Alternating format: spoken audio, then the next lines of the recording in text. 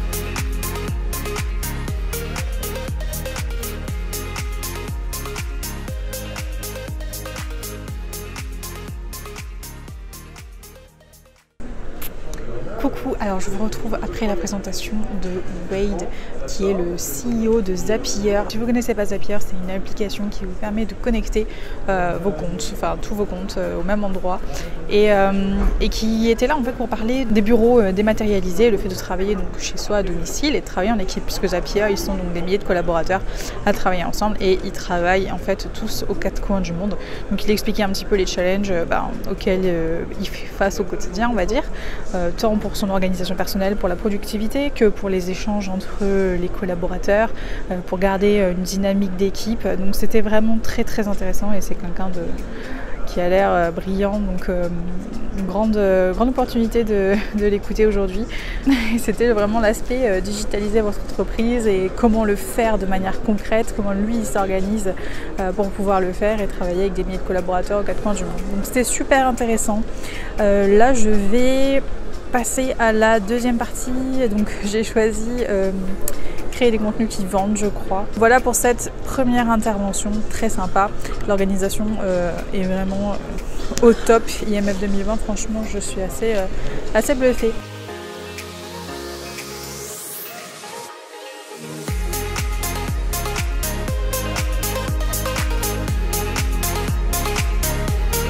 Je vous retrouve à la fin de la journée, je suis de retour dans ma chambre d'hôtel, il est 9h. Euh, euh, vous allez voir des images un petit peu décalées parce que en fait, je vous avais dit que dans l'idée, euh, je ferai des petits récaps à la fin de chaque intervention, sauf qu'en fait, ça va tellement vite et on a vraiment très très peu de temps entre chaque intervention que j'ai pas eu le temps de le faire, à part pour la première.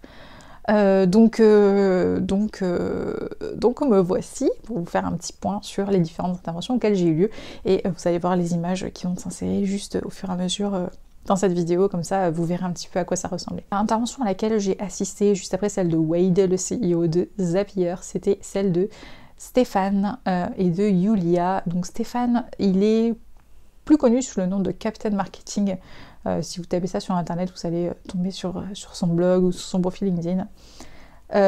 et Yulia eh bien, est représentante de chez SEMrush. C'est un outil d'analyse SEO qui est très populaire, très en vogue et que j'ai testé personnellement une seule fois pendant quelques temps et que j'avais trouvé très intéressant avec des fonctionnalités super mais disons que c'est un outil qui est assez Je m'éloigne du sujet, mais c'était pour vous situer un petit peu le contexte des euh, interventions. Donc l'intervention en question dont je vous parle, elle était axée sur l'importance du contenu et euh, évidemment euh, du SEO, donc de l'optimisation. pour moi, il y a eu vraiment deux écoles. Il y a eu l'intervention de Stéphane, donc Captain Marketing, que j'ai trouvé très bien. J'ai beaucoup aimé son approche. J'ai trouvé quelqu'un de très très intéressant. Et euh, l'intervention de Julia était vraiment axée clairement pour mettre euh, en avant l'outil SEMrush. Euh, elle a annoncé plusieurs nouveautés, dont celle de mettre en place une plateforme de rédacteurs directement sur, sur SEMrush. Donc si vous regardez que vous êtes rédacteur web, peut-être que c'est une opportunité pour vous. Je ne sais pas comment ils recrutent leurs rédacteurs. Voilà, c'est une piste, c'est une piste à creuser et ce sera en route, je crois, le, en février 2020. Donc pour moi, l'intervention de Julia était beaucoup trop. En même temps, voilà, elle défendait son produit, mais elle a beaucoup parlé des, outils et des solutions qui, sont mises en place euh, par, euh, par SEMrush à plusieurs niveaux, non seulement sur la création de contenu euh, et sur l'optimisation, donc avec des outils SEO qui vous permettent d'analyser la concurrence, ça, ok, d'analyser le marché, d'analyser les mots-clés, tout ça, c'est très intéressant. maintenant, je pense quand même que le règne des mots-clés est en train de s'éteindre. Euh, au-delà du fait que moi je pense ça, euh, c'est surtout euh, ce qui est un peu dit de manière générale depuis les dernières mises à jour de Google. Donc pour moi cette approche-là, elle, a des limites et elle ne peut pas se concentrer uniquement sur l'insertion des mots-clés. Donc cette partie-là était plutôt intéressante, même s'il y a certains points sur lesquels je n'étais pas forcément d'accord. En tout cas, on en vient toujours à la même réflexion et ça nous conforte dans l'idée de dire que la qualité doit primer sur le reste. Quelque chose qui est intéressant et que Stéphane a dit et que j'aimerais partager avec vous, c'est l'idée de toujours se poser cette question lorsque vous créez du contenu, c'est que de créer du contenu qui soit soit actionnable, soit mémorable. Alors actionnable dans le sens où euh, vos lecteurs, lorsqu'ils ont fini leur lecture, ils auront des choses à mettre en place, des vraies, des vraies actions, des, choses qui sont concrètes et mémorables parce que soit le contenu est fun, soit parce qu'il est, euh, il prend position sur un sujet avec un angle particulier, mémorable. Voilà. Donc ça c'était un, point euh, intéressant que j'avais envie de, partager avec vous. J'ai ensuite assisté à une intervention de Frédéric Bonneton qui était axée sur la négociation émotionnelle. Alors c'est une approche qui est très psycho de, la prise de décision et de l'acte d'achat. et en fait, si vous voulez, l'accent il a été mis sur les déclencheurs et la manière dont on peut aujourd'hui agir pour vendre. Donc que ce soit un client, un produit parce que vous êtes blogueur par exemple, ou que vous soyez rédacteur évidemment pour, euh, pour vendre vos prestations ou n'importe quel autre corps de métier. Donc il expliquait qu'aujourd'hui ce qui nous fait la différence, c'est pas nos avantages concurrentiels, parce que, et je trouve qu'il a totalement raison, chaque entreprise est convaincue d'être la meilleure dans son domaine, chaque entreprise est convaincue d'avoir une approche unique qui la différencie des autres, sauf qu'en réalité, tout le monde fait quand même la même chose, tout le monde véhicule finalement les mêmes, euh, les mêmes euh, avantages, euh, les mêmes arguments, ce qui fait qu'aujourd'hui c'est très difficile pour, pour quelqu'un de faire la différence. Et qu'est-ce qui fait la différence? Eh bien c'est l'humain. Les gens qui travaillent avec vous, certes pour la qualité du travail que vous allez leur rendre, mais aussi pour votre approche, pour votre personnalité et c'est ça au final qui fait vraiment la différence. Donc maintenant, il y a plein d'autres choses intéressantes qui ont été dites. Et euh, c'est assez, euh, assez, difficile de tout vous synthétiser. Mais euh, les points principaux, c'est notamment le fait que la prise de décision est en grande partie émotionnelle. Donnez les informations de base pour rassurer votre client et établissez un, climat de confiance et agissez sur ses émotions. Voilà, ça c'était vraiment une intervention que j'ai trouvée extrêmement enrichissante à plein de niveaux, tant, tant sur le format, parce que, parce que Frédéric était un, animateur que j'ai trouvé très dynamique et très, euh, très intéressant. C'était, il y avait une interaction, donc ça c'était vraiment, vraiment chouette, que sur le fond, parce que le fond était extrêmement intéressant. Voilà pour l'intervention de Frédéric Bonneton. Alors ensuite on a eu une, pause déjeuner, euh, d'ailleurs très sympa, dans laquelle j'ai eu l'occasion de discuter avec Séverine, euh, qui est euh, la personne qui travaille donc dans l'agence Winbound, dont je vous ai parlé au tout début de cette vidéo, et qui m'a gentiment invitée et avec qui j'ai pu échanger. Donc c'était un petit moment très sympa. J'ai malheureusement pas pu filmer parce qu'il y avait un tel brouhaha que c'était juste déjà très difficile de s'entendre parler. Et euh, après ça, donc, euh, le programme a, recommencé. C'était quelque chose d'assez intense. Après le déjeuner, on a assisté à une table ronde sur la place des femmes dans l'entreprise digitale. Euh, donc il y avait plusieurs intervenants qui étaient présents, et notamment Dipti Chander, qui est développeuse chez Google, rien que ça. Donc plutôt beau parcours. Et voilà, donc c'était des échanges autour de, de la place de la femme dans les entreprises de manière générale, mais aussi forcément plus spécifiquement dans les métiers du digital euh, les métiers d'ingénierie, euh, de développement. Ils ont beaucoup parlé donc, euh, de, la place et de l'évolution de, la, société, des réglementations par rapport à tout ça. Et voilà, c'était intéressant. Pour moi, le point le plus important qui est quelque chose qui a été dit pendant les échanges et sur lequel je suis d'accord, c'est que aujourd'hui, dès le plus jeune âge, au niveau de l'éducation, et je parle au niveau de l'éducation nationale, c'est-à-dire lorsque vous êtes dans un cursus scolaire, euh, on ne met pas forcément l'accent sur les métiers euh, d'ingénieur, par exemple, développement, euh, pour les femmes. Ça ne fait pas partie des options qui sont présentées. ce sont des métiers qui ont tendance à être très masculinisés et vers lesquels eh bien, les portes ne s'ouvrent pas forcément facilement pour les femmes, par manque de connaissances, d'informations je sais que moi, à titre personnel, j'aurais adoré apprendre le développement et euh, c'est pas quelque chose auquel j'ai pensé parce que je me suis jamais dit que peut-être que ça pourrait, ça pourrait m'intéresser. Donc, euh, voilà, c'est le fond du problème. Je pense que la cause, c'est vraiment euh, avant tout la cause. En tout cas, la raison, c'est avant tout l'éducation et la manière dont on, dont on est éduqué, que ce soit chez nous, mais aussi dans la société, évidemment. Voilà. Donc c'était un débat voilà, intéressant, plutôt en mode tranquille, autour d'une table ronde et euh, assez sympa, intéressant à, regarder. Et euh, après ça, donc, le programme a, recommencé. Et encore une fois, la difficulté, vous avez plusieurs interventions qui ont eu en même temps. Donc c'est un vrai challenge de décider bah, qui vous allez voir. En l'occurrence, on a fait le choix euh, avec Marion, que vous allez voir à la fin de cette vidéo, d'aller voir une intervention qui, mettait l'accent sur la manière dont une société avait euh, rempli ses objectifs de l'année en, un mois. Euh. Donc c'était plutôt vendeur comme ça sur le papier. Euh, en réalité, on a été un petit peu déçus toutes les deux. C'est parce que l'intervention était très axée sur un outil. Et cet outil, c'est HubSpot. Alors, je ne sais pas si vous le connaissez. HubSpot, c'est un outil de CRM, comme on dit. Donc, Customer Relationship Management. Donc, c'est un outil qui vous permet comme ça de retracer la relation que vous entretenez avec vos clients. Donc, c'est un outil de suivi, mais aussi de planification. Euh, personnellement, je ne le connaissais pas du tout. J'étais vraiment genre la promotion un petit peu de, de HubSpot. Et voilà pour cette intervention-là. Celle d'après a pas été mieux. Elle était euh, sur la manière dont vous pouvez travailler vos personas. J'ai pas forcément apprécié l'approche de l'intervenant parce qu'il a passé déjà 10 ou 15 minutes euh, simplement à parler de l'entreprise en elle-même. Donc on avait des bullet points sur qui est l'entreprise, quel est son marché, quelle est sa segmentation de clients, etc. Enfin des données très très linéaire. C'est pas super énergique et j'ai pas forcément apprécié le contenu, donc je, je vais pas, pas m'étaler sur cette intervention-là. La dernière intervention était celle de Stéphane Truffem, donc que j'avais déjà vu le matin, et de Philippe Gasto, qui était très très intéressante et dans laquelle il donnait donc trois outils marketing pour doubler son chiffre d'affaires. toujours des belles promesses comme ça, n'est-ce pas? Euh, donc euh, la première partie était très axée sur le contenu et euh, sur la manière dont on pouvait utiliser le contenu dans son business, donc à la fois en tant que création mais aussi de réutiliser du contenu, c'est-à-dire par exemple d'utiliser un e-book, un e-book pardon, et de le décliner dans différents supports sur des webinaires, sur des articles, sur euh, des podcasts, sur euh, des infographies, enfin voilà, tous les différents types de supports que vous pouvez exploiter. Donc ça, c'est toujours des pistes qui sont intéressantes à proposer à vos clients si vous en avez euh, qui sont dans ce, dans ce domaine-là. Et donc toujours, encore une fois, un gros accent sur la, sur la qualité de contenu et ça, c'est, c'est encore une fois hyper important. La deuxième, le deuxième axe, c'était vraiment le growth hacking c'est la manière dont vous pouvez utiliser comme ça des, des adresses email pour, pour effectuer des opérations très très ciblées euh, sur des personnes, notamment sur LinkedIn, hein. c'est-à-dire utiliser donc votre réseau, faire la recherche de personnes qui sont dans votre département, qui sont dans, votre cible, et euh, donc vous allez récupérer des, adresses email grâce à des outils comme Phantom Buster par exemple. Euh, donc très très intéressant.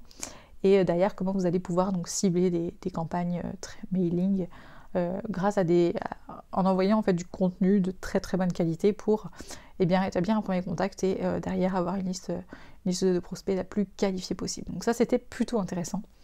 Et le dernier axe c'était euh, sur l'utilisation des données et comment derrière vous pouvez eh bien, les capitaliser sur, sur ces données-là et évidemment bah, du coup augmenter votre chiffre d'affaires, vous l'avez compris. La journée s'est clôturée par la remise des prix euh, du prix de, la, meilleure stratégie digitale euh, donc de l'année pour 2020.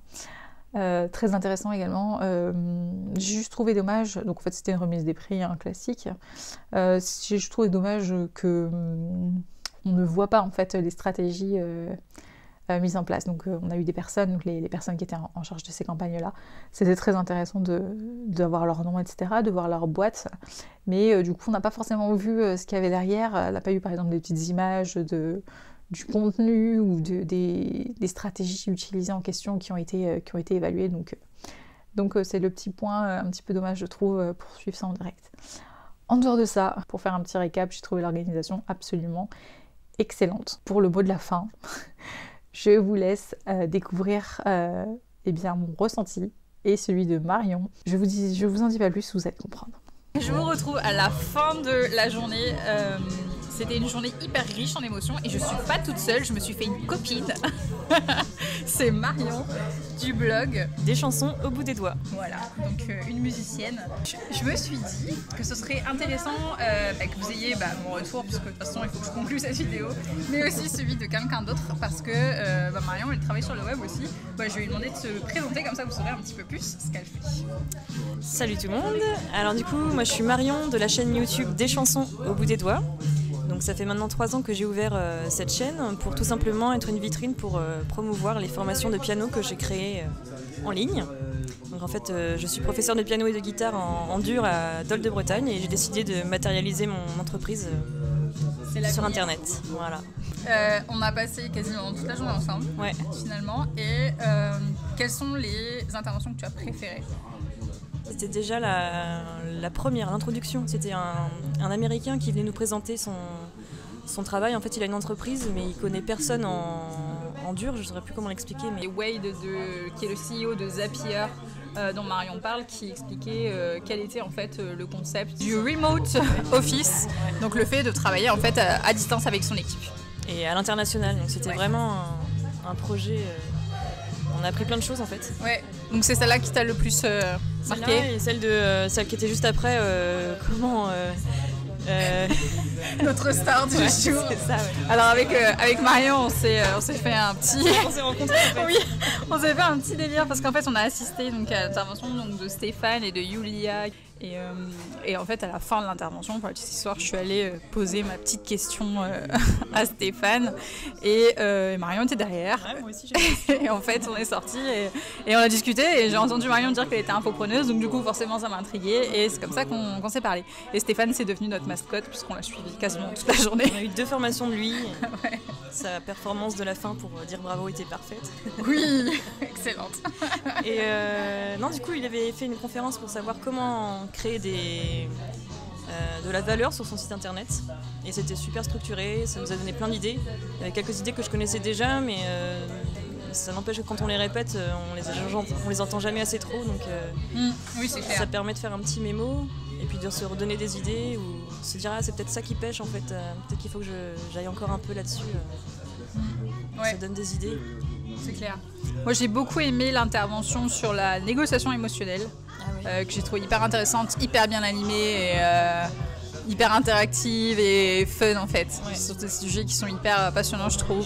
Ouais, et euh, j'ai préféré le programme de ce matin que de cet après-midi. Alors pour finir, parce que sinon cette vidéo a duré 1000 ans, je crois qu'elle dure déjà 1000 ans. Trois mots selon toi pour, pour décrire IMF 2020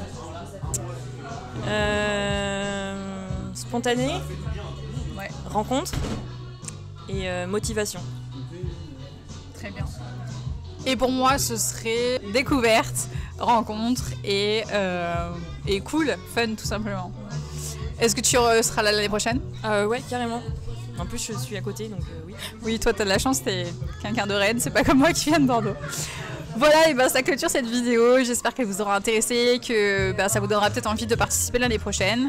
Et ben, je vous dis à très bientôt sur la chaîne, sur le blog ou ailleurs. Et euh, si vous, vous êtes musicienne ou musicien et que vous avez envie d'apprendre euh, le piano, eh bien euh, je redonne, je mettrai le exactement et je remettrai le, je mettrai le blog de Marion en barre d'infos. Je vous souhaite une belle journée, une bonne soirée. Ciao